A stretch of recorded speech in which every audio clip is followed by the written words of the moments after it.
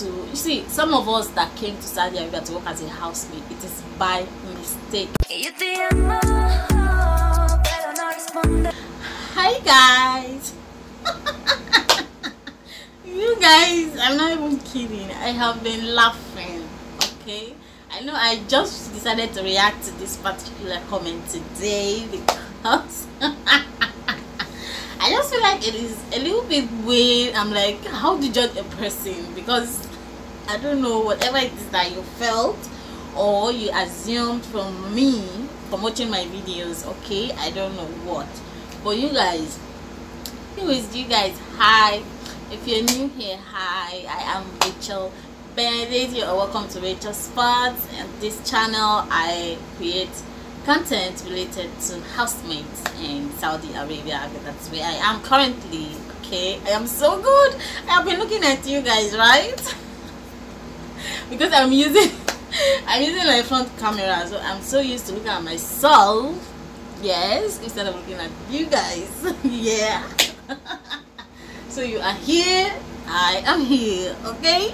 Alright you guys anyways enough play I wanted to beat my face up, but that comment, I just felt like, chill, just calm down, Rachel, calm down. I feel like you're doing too much, you know. You have to making me my, how do I say this? You have to be putting my, my self-esteem on a low level, okay? Stop it. I don't know, that comment just kind of really got to me somehow in one of my videos. I'm going to find it and link, it, link the video down below so you guys can check it out okay go see the comments by yourself. You guys i kind of felt weird by that comment. I don't know why.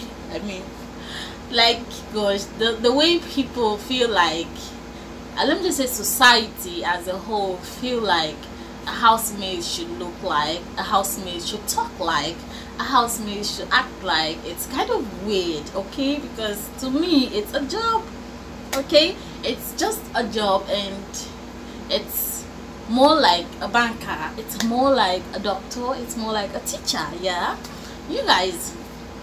So i feel like i should address that comment because i think i have mentioned something like this on mostly every of my videos okay? Because i'm one person. I just like to be my best.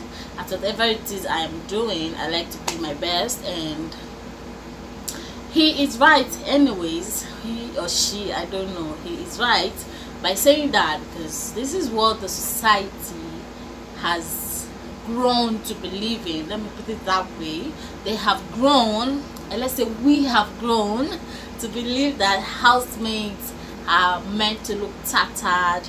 They are meant to you see some of us that came to Saudi Arabia to work as a housemaid it is by mistake. Not me. I knew what I was coming for okay don't get me wrong but i know of people that they came here due to their agent lied to them. Am i right? Yeah? Okay. Go check out these channels you will see okay? There, i know some of them that their agents lied to them they scam them and and come down to saudi arabia you have no other options okay? You have no other options. I mean you can't come down to saudi arabia and say eh, i'm going back in the next although there are some people in my company then before i left okay, okay that came but they spent at least three months before they went back to nigeria. They couldn't do the job and everything. Me i was a workaholic okay? There's nothing i cannot do. She's not a joke. You guys let's leave it at that. My mom is not a joke. So it was kind of normal to me i mean she's not just to clean somebody's house. And it's even easier here oh, that you're using a mopping stick you're standing and you're sweeping the floor not like my home that you have to bend down. Do you understand? You have to bend down. Your waist is on the low and you're cleaning the floor you guys okay?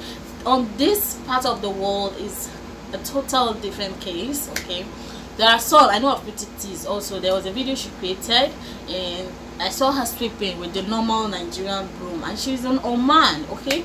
You guys so it depends on where you are but i feel like cleaning houses here don't get me wrong nobody should come for me okay? I'm saying based on what i have experienced. I have also worked in places that are terrible like oh really really terrible.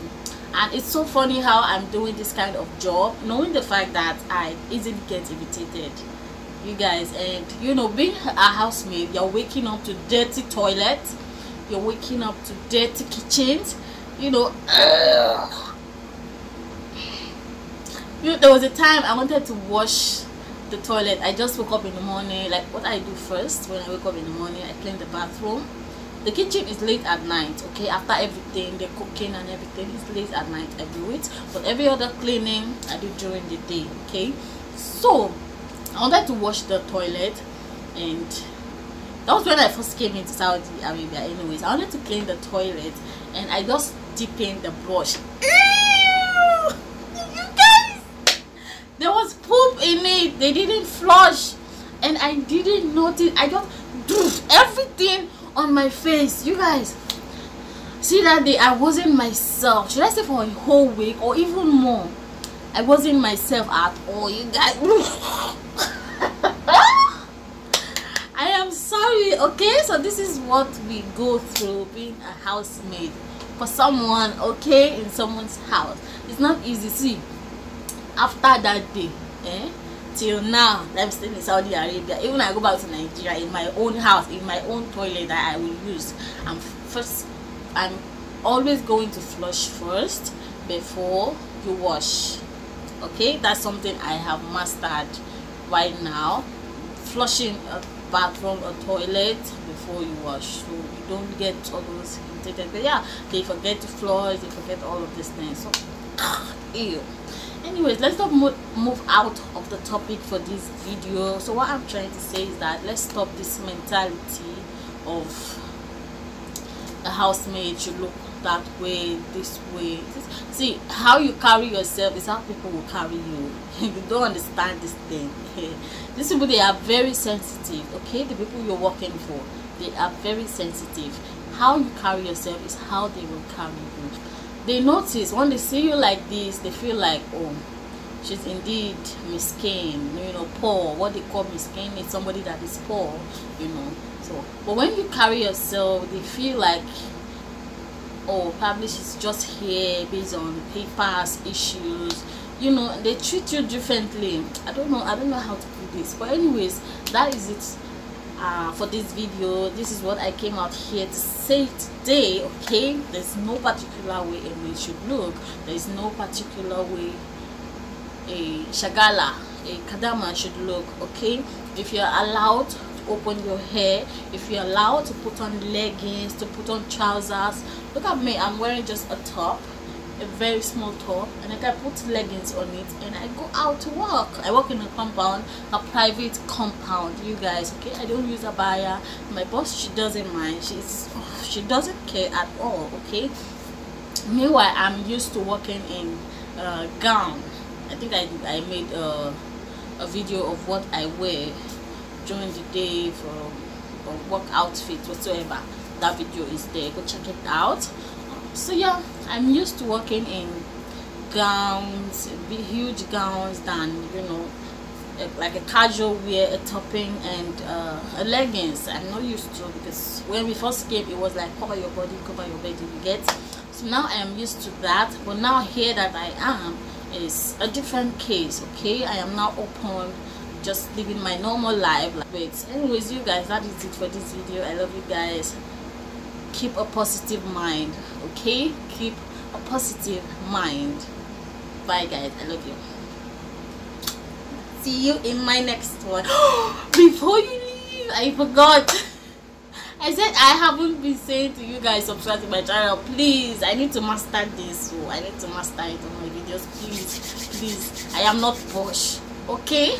I am not more than a housemaid okay i'm not bigger than anybody that is a housemaid help your girl support support my channel please subscribe turn on the post notification to keep in touch with me okay if you do not turn your post notification you will not get notified whenever i post and you not keep seeing my fine face.